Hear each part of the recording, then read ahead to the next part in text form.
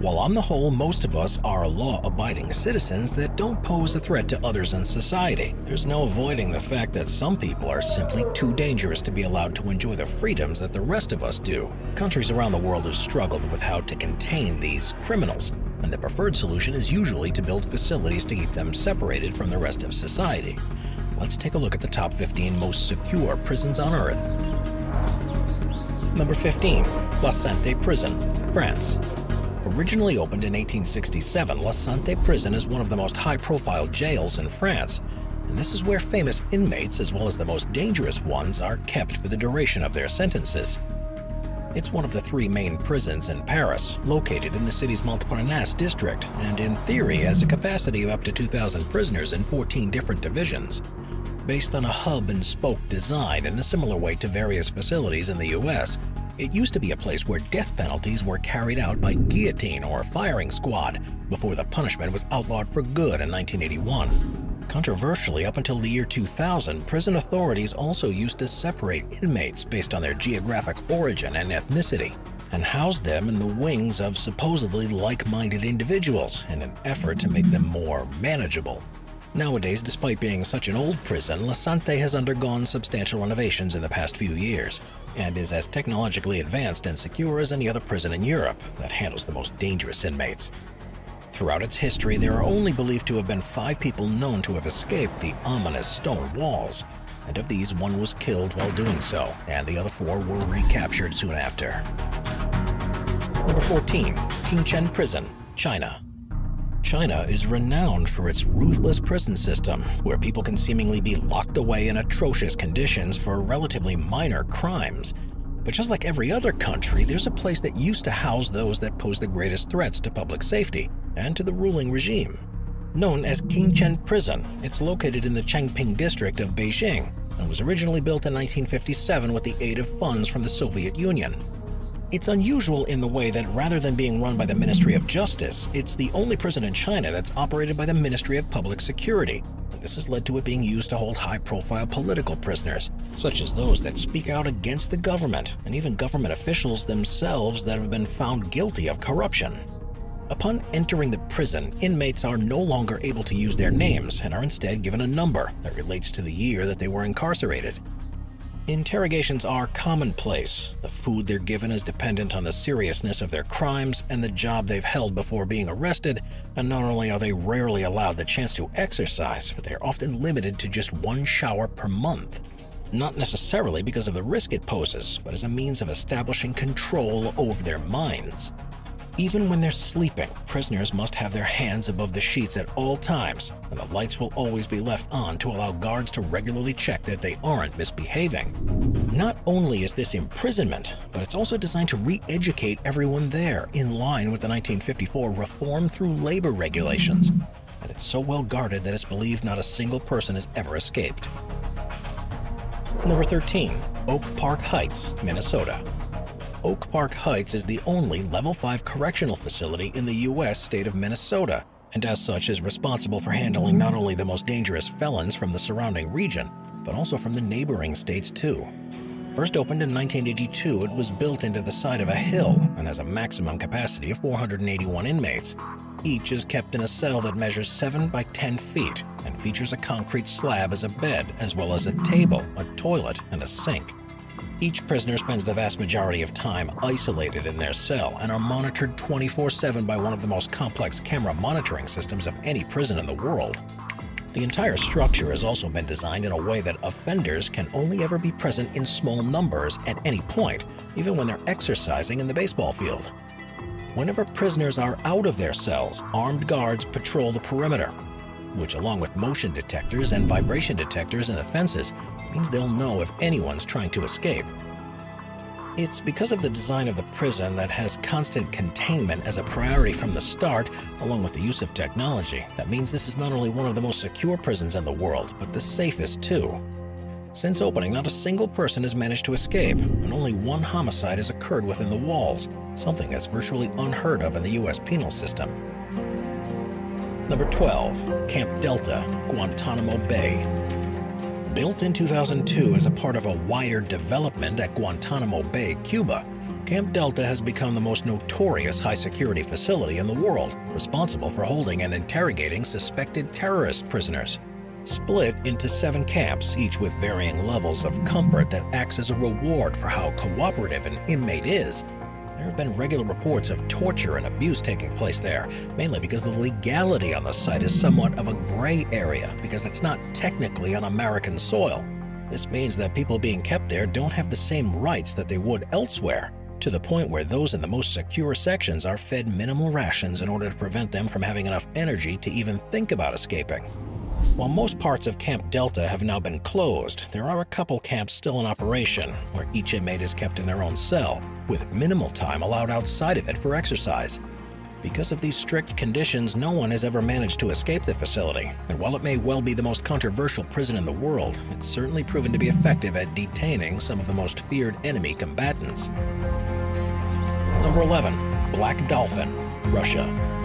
Russian prisons are known for their cramped conditions and their poor treatment of inmates, but those who commit the most heinous of crimes are sent to the country's most secure facility of all, which is known as Black Dolphin. Located in Sol-Iletsk on Russia's border with Kazakhstan, the site has been used for incarcerating prisoners as long ago as 1745, and while it's officially known as Penal Colony Number 6, it gets its nickname from a prisoner-built statue near the entrance. With a prison population of around 700 inmates, only the most dangerous criminals are sent there, such as those who have been convicted of offenses like murder, terrorism, and cannibalism. Each inmate is kept isolated in their own cell and are allowed just 90 minutes each day to exercise in a large cage. During this time, their cells are meticulously searched for contraband, and anytime a prisoner is being moved around the prison, they're forced to wear a blindfold to prevent them from being able to map out the corridors to help form an escape plan. From the year 2000, when the prison first started accepting prisoners with life sentences, it became the place that no one wants to be sent. Criminals know that once you enter the gates of Black Dolphin, you'll never again see the outside world. And with extensive security perimeters that in some places are further protected with landmines, and one of the highest prisoner to armed guard ratios of any prison on Earth, there's unsurprisingly never been a successful escape. Number 10. HMP Belmarsh UK. Since opening in April of 1991, HMP Belmarsh has become one of the most notorious prisons in the UK. Designated as a Category A prison, it accommodates inmates of all types from the local area around London, but also the most serious offenders from elsewhere in the country. It's there, for example, that most terrorist suspects are held, along with others that are deemed to put national security at a risk. The reason Belmarsh has taken on this role is firstly that it's located directly next to Woolwich Crown Court, so prisoners don't have to be transported very far to trial, but also because it's one of the most secure facilities in Europe. While it doesn't have a heavily guarded perimeter like other prisons, it's the arrangement of Belmarsh that makes it almost impossible to escape from. Inmates are held across four different residential units, with 40% of the cells being designed for single occupancy, and technology is used, particularly with the most serious offenders, to monitor every move they make. There are at least 15 remote-operated doors between each cell and the outside, and this has meant that since it opened, not a single person has ever escaped. With an average prison population of 910, guards at Belmarsh have historically been given a surprising amount of leeway in how they keep control. Investigations have found they're known to use extremely high levels of force, and that an unusual proportion of prisoners reported being intimidated or victimized by the staff. Number 9. Terre Haute, Indiana. Terre Haute is a federal correctional complex near the city of Terre Haute in Indiana and is made up of two facilities, one of which is a maximum security federal prison. It's where the federal execution chamber has been since 1993 so as a special confinement unit for inmates who are on death row, and the reason why it was chosen was that it was such a secure but accessible facility. Originally built in 1940 but substantially upgraded in 2005, there's the capacity for around 1,480 prisoners, of which 46 are currently on death row and kept completely separate from the rest of the population. Some of the country's most violent offenders are kept there, but rather than solely being a means for punishment, Terre Haute has been purposefully designed to emphasize rehabilitation programs for those that aren't serving life sentences. Regular therapy sessions along with educational opportunities to help inmates learn how to read, write, and learn the skills needed for various professions, along with policies such as allowing them to speak during meal times instead of being in silence, and referring to prisoners by their names instead of numbers are all intended to prevent reoffending, and this policy has proven to be surprisingly effective. There have, of course, been a number of escape attempts, and while the old perimeter of Terre Haute was on occasion breached, inmates have yet to find a way around the new security measures that were installed in 2005. Number 8. Fuchu Prison, Japan. Located in the city of Fuchu, which is part of the Tokyo metropolis in Japan, Fuchu Prison is the country's largest prison, with around 2,000 prisoners at any time. It originally opened in 1935, replacing Tokyo's main prison that had been destroyed in an earthquake a decade earlier, and was to begin with the place where Japanese authorities held political prisoners. During the Second World War, all high-profile inmates were kept in Fuchu, both because of how secure it was and to keep them close to the seat of power. And in recent years, it's become the place where high-profile and violent criminals are held, as well as virtually every foreign prisoner within the Japanese penal system split into four sections, one of which is solely dedicated to international inmates. It's surrounded by a 1.1 mile long perimeter wall. It's at least 18 feet tall throughout. By the 1980s, the prison facilities were becoming inadequate to contain all of the prisoners, and amidst the number of escape attempts, the decision was made to embark upon a 10-year project during which virtually every system and security measure on the site was upgraded. Following the completion of this work, not a single person has been able to escape, mainly thanks to most of the doors now being operated from a central command room and purpose-built platforms and vantage points that allow armed guards a full view over any potential weak spots. Number 7. New Vosseveld, Netherlands. New Vosseveld is the most secure facility in the Netherlands, and while most prisons have a checkered past at best, this one has a particularly tragic background. It was built in 1943 by the Nazis who occupied the country at the time and was used as a concentration camp for as many as 31,000 prisoners, none of whom had broken any actual laws and were instead being held simply for who they were. By the time the Allies liberated it 20 months later, almost a thousand people had died, 329 of them having been executed, and the rest succumbing to the horrendous conditions they were kept in. Following the war, the camp became a detention center for Germans and other people accused of assisting the Nazis during their campaign. And for a number of years, they too were subjected to atrocious conditions and summary executions. It was in 1953 with the construction of a juvenile camp that New Vosseveld became a prison more in line with what you'd expect. And by the 1970s, an adult wing had also been added. Now home to the country's high-security prison unit as well as a terrorist holding facility has now a capacity of about 750 prisoners, many of which are kept in isolated cells and have very little time outside of those four walls. Number 6. Portlaoise Prison, Ireland. First opening in the 1830s, Portlaoise Prison has for a long time been the most secure prison in Ireland and responsible for holding the country's most notorious criminals.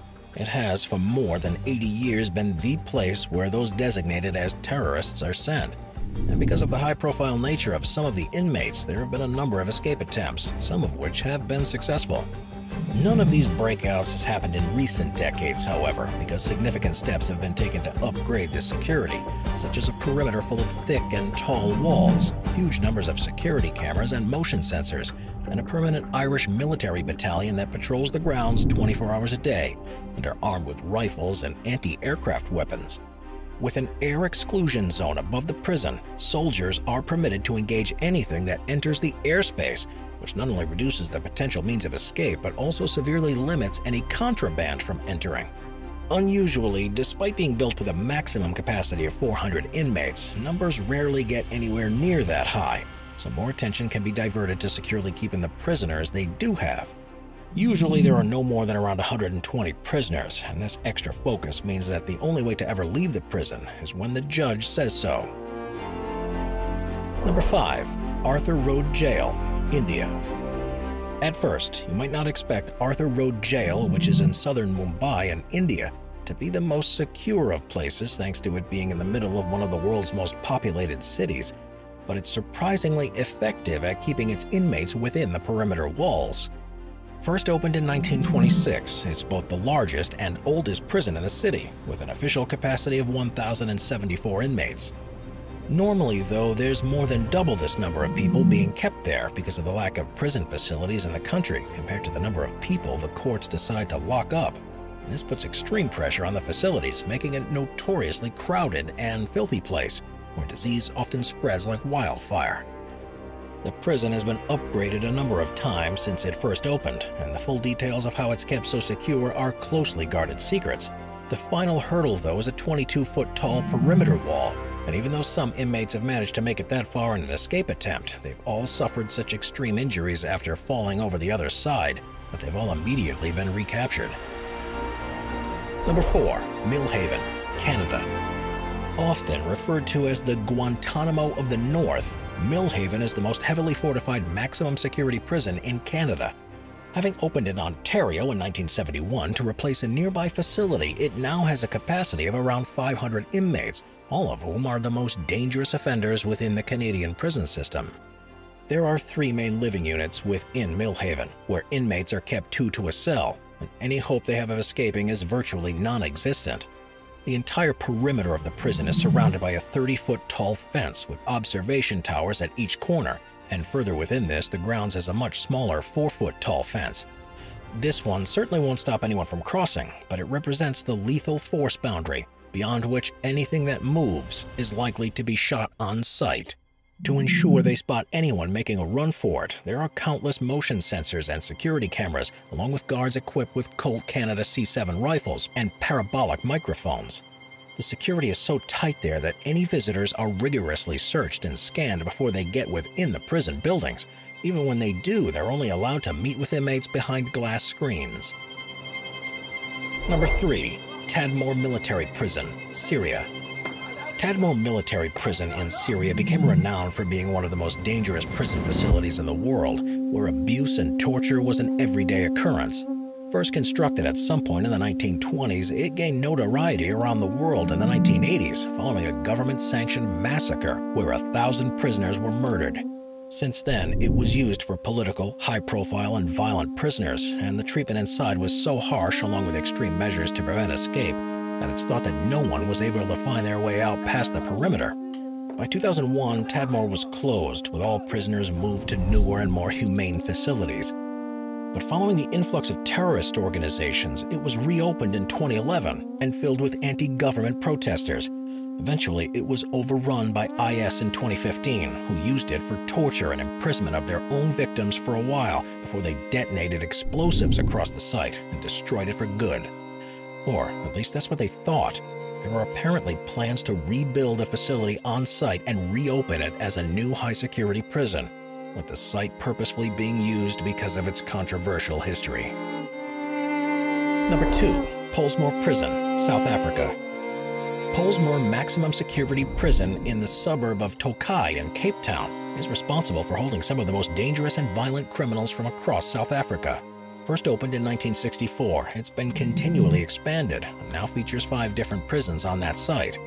One of these is the most secure female prisons of the world, and another is the wing where men with life sentences are kept. And despite having a rated capacity of 4,336 inmates, the true number is closer to double that. Because security staff aren't present all throughout the day, gang activity runs rife at Pollsmoor, so much so that there's one floor, which is split into three sections, and specifically for members of the three main gangs. Inside the walls, prisoners can pretty much do whatever they want, except for leave. The entire perimeter is fortified in a similar way to a war zone, and anyone trying to escape is killed on sight, a fact that's more than effective in preventing attempts in the first place. Number 1. ADX Florence, Colorado. ADX Florence, after opening in 1994, became the highest security prison in the U.S. and is classified as a supermax, which is the step above maximum security. It was commissioned to specifically hold inmates who posed a serious threat of violence or harm to staff or other inmates and, as such, take extreme precautions with everything that prisoners are allowed to do. With a population of around 350 inmates, each one is held in single cells that are made from poured concrete to prevent them from self-harming. They're kept in their cells for 23 hours of the day, where they're continually monitored by security cameras and frequent checks by guards. All 1,400 steel-reinforced doors at the site are remote operated, so can't be broken through by anyone trying to escape. And the one hour that inmates are allowed outside of their cells each day is spent in a concrete pit. which looks like an empty swimming pool, which they slowly walk around. All windows in the facility are tiny, which prevents inmates from being able to plot a map of their surroundings for a potential escape attempt. And so far, all of these precautions have been successful because no one has managed to break free. That's particularly impressive considering the most dangerous terrorists, serial killers, and gang members are held there, including El Chapo, who has managed to escape countless prisons before, but has found ADX Florence too hard to overcome, at least for the time being. Watch our binge watching playlist if you'd like to watch all of our most popular top 15 videos. Grab a drink, grab a snack, and get ready to binge.